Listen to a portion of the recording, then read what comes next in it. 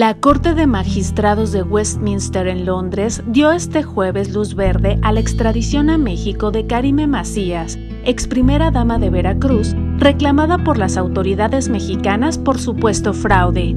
México solicitó la extradición de Karime, ex esposa del antiguo gobernador de Veracruz Javier Duarte, en relación con unos fraudes supuestamente cometidos en el Sistema Estatal para el Desarrollo Integral de la Familia, pero que ella rechaza. Karime estaba en el Reino Unido cuando en octubre de 2019 recibió una notificación policial para presentarse en una comisaría de Westminster, a raíz de una orden de extradición remitida a través de Interpol. En ese momento, Karime quedó en libertad bajo fianza, antes de que empezara el proceso legal de extradición.